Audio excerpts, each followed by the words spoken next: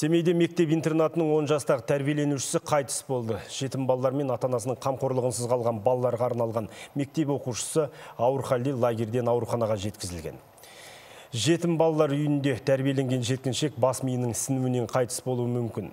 Мектеп басшылығы баланың 2017 жылға дейін бірнеше балалар үйінде тәрбиеленіп, соңғы 3 жыл осы мектеп интернатына ауысқанын айтады.